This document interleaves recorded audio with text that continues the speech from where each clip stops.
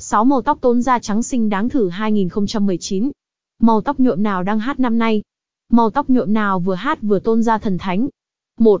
Tóc khói, màu tóc hát trường kỳ theo thời gian. Nhuộm tóc màu khói không những mang lại ấn tượng sâu sắc cho người đối diện, mà còn thể hiện cá tính của chủ nhân.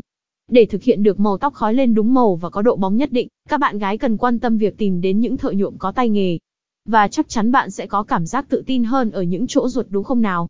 Nhuộm tóc màu nâu khói, xám, xanh, bạc khói đều là những màu tóc đẹp tôn ra cho các nàng. Nàng có thể chọn nhuộm phủ khói phần đuôi tóc kết hợp các màu khác, hoặc nhuộm khói toàn bộ mái tóc đều hợp. 2. Tóc nâu vàng, đại diện vĩnh cửu cho sự trẻ trung. Tuy cùng lên tông màu vàng cho tóc, nhưng màu tóc nâu vàng sẽ mang lại sự trẻ trung kèm nét hiện đại, cho bất cứ thiếu nữ nào. Bạn có thể dễ dàng nhận ra nét nhẹ nhàng bay bổng thậm chí mơ màng qua từng sợi tóc vàng. Nhưng chính độ sáng mà màu vàng mang lại lại khẳng định được sự trẻ trung, hiện đại, thậm chí là sự tươi mới, tràn đầy sức sống cho giới trẻ. Nếu bạn đang băn khoăn màu tóc để tôn vẻ đẹp làn da của mình, thì đừng ngần ngại chọn ngay màu nâu vàng này. Chắc chắc, màu tóc này không làm bạn thất vọng đâu. Đừng quên chọn cho mình một kiểu tóc xoăn đẹp đi kèm với màu tóc này nhé. 3. Tóc ombre, màu tóc tôn mọi loại da. Ombre là màu tóc đang được các nàng cá tính săn lùng giáo diết. Sở dĩ tóc nhuộm màu ombre được đông đảo chị em chào đón là bởi vì đây là tông màu nhuộm tóc thời trang và đầy cá tính. Sự đa dạng trong màu sắc, cũng như việc sử dụng màu sắc để phối một cách linh hoạt đã khẳng định nét độc đáo cho màu tóc của bạn. Tóc nhuộm màu ombre là sự pha trộn màu sắc một cách tinh tế và đầy sáng tạo. Những mảng tóc nhuộm sáng tối khác nhau có thể điều chỉnh theo sở thích, cũng như dụng ý của chính người dùng. Với màu nhuộm tóc ombre, nàng tự tin khoe cá tính cũng như sự khỏe khoắn, năng động của chính mình. Mách nhỏ là một kiểu tóc xoăn đuôi đẹp chính là combo hoàn hảo với màu nhuộm này. 4. Tóc hạt rẻ, màu tóc an toàn mà vẫn xinh tươi. Màu tóc nhuộm hạt rẻ là màu tóc nhuộm truyền thống được cái nàng ưu ái lựa chọn qua nhiều thời gian. Có thể nói, màu nhuộm tóc này mang tính phổ biến nhất. Cho dù xu hướng màu tóc đẹp có thay đổi bao nhiêu, thì tóc nhuộm màu hạt rẻ vẫn là lựa chọn của nhiều bạn gái. Màu nâu nhẹ nhàng kết hợp với độ bóng mang lại một màu tóc đẹp.